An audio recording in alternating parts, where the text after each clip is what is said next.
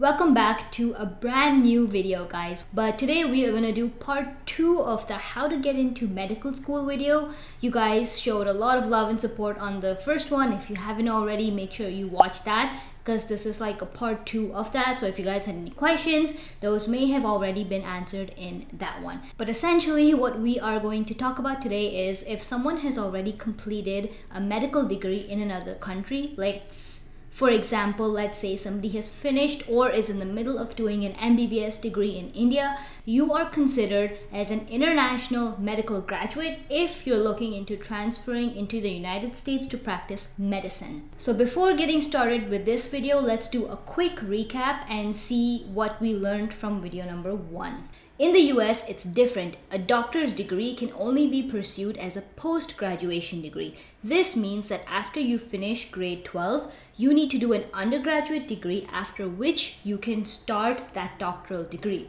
Point number two is that that is the doctoral degree in the US is not called MBBS. After you get that undergraduate degree, you pursue a Doctor of Medicine degree or an MD which is typically four years. And if you're someone who's looking to make that transfer in the most simplest way possible, you would have to write the United States Medical Licensing Examination or the USMLE.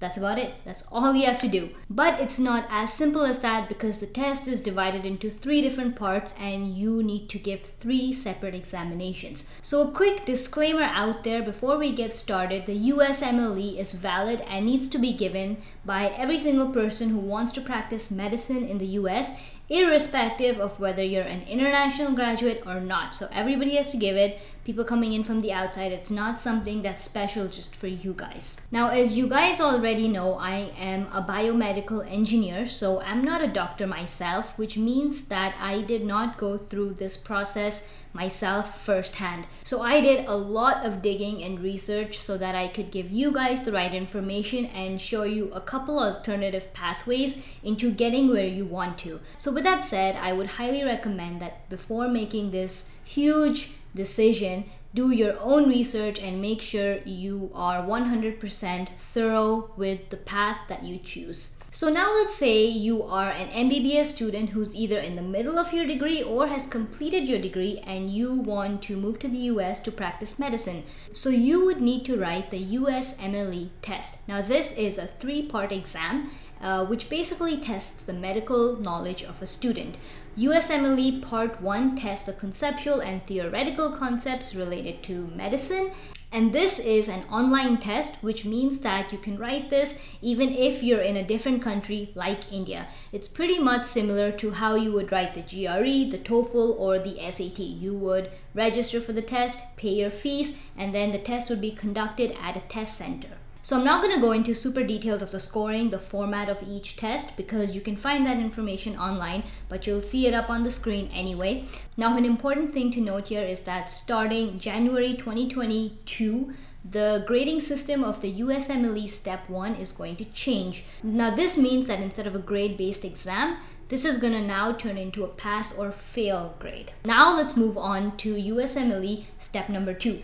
So step 2 is divided into two parts, CS and CK. While the overall goal of USMLE Step 2 is to test the clinical application and clinical knowledge of a medical student, it gets a little tricky because only one of these parts can be done in India and the other one has to be completed in the United States. CK can be completed while you are in another country like India, but the CS part of the test has to be given at the test centers in the United States. Now, once you've completed USMLE Step 2, you would typically go into a residency program which can last anywhere between 3 to 8 years depending on what your field of specialization is. After this comes USMLE Step 3 and this is a little tricky as well. Like the CS section of USMLE Part 2, USMLE Part 3 can also only be given in the US because this tests patient management skills in a live setting.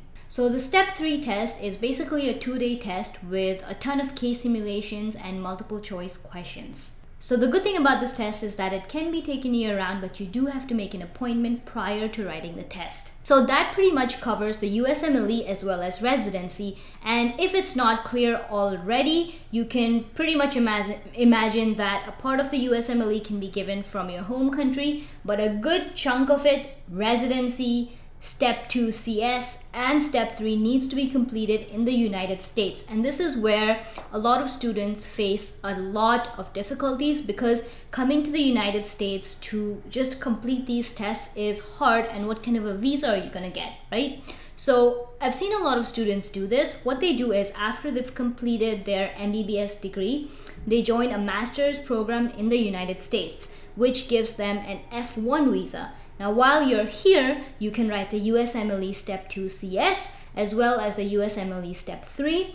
And while you're physically present in the United States, you can also start looking for residency programs. You can get on interviews, and it's better to have these discussions in person. And while you're here, you have the flexibility to look around and, you know, make connections and develop those relationships. Now, when it comes to the residency program, different states have different rules. So, depending on which state you choose, you may very well find yourself in a position where you're earning a good amount of money even while you're doing your residency. So, make sure that you do your entire research. So that pretty much covers up how you can transition into the United States if you want to become a doctor. And at this point, I'm pretty sure you guys are thinking that this is a very complicated process.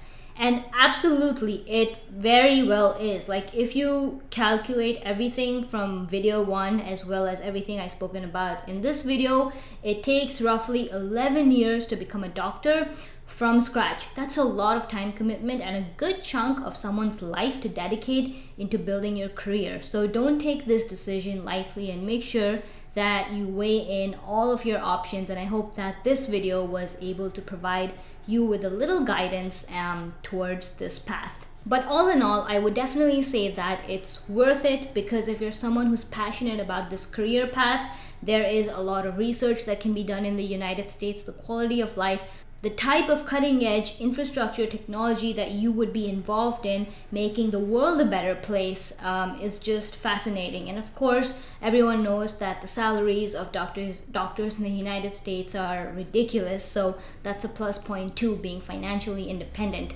So this is definitely a worthwhile career. But basically this is the last time i'm going to talk about medicine on my channel this video as well as the previous one kind of covers up everything about how someone would want to transition from a different country to the United States to, to practice medicine. And the reason why this is going to be my last video on this topic is because I'm not a doctor and this is definitely not my area of expertise. So I don't feel really comfortable giving you guys in-depth advice because I haven't firsthand experienced this. On the other hand, I am a biomedical engineer, and if you guys have any questions related to this career path, this field of study, the education, the stuff that goes on within this, shoot them in the comments below. I would love to answer them and I can just go on for hours and hours on this topic of biomedical engineering. But yeah, that's about it for this video. I hope you guys enjoyed it. If you found it useful, don't forget to share, like, comment, subscribe to the channel if you haven't already, and I'll see you guys in the next one. Um, on a side note, I think we're about to hit like 5,000 subscribers. It blows my mind that so many of you guys are uh, supporting this channel. 5,000 people. I just, I physically cannot imagine standing in front of 5,000 people and talking to you guys. Oh my god.